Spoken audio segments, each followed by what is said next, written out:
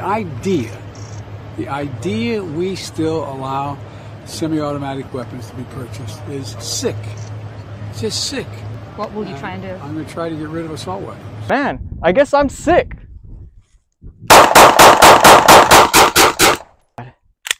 This stuff is so sick. Everything is just so scary. I guess we're just all such sick individuals. Oh, that's Super X number four, don't play.